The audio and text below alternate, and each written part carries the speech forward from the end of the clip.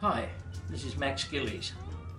Do you sometimes get the impression that our current batch of political leaders are just a little bit uninspiring? I reckon they're non-existent. But I do remember a time when once were leaders. Let's remember them together. For one evening on Thursday the 12th of November at the Whitehorse Centre, Nunawading. I'll see you there. Música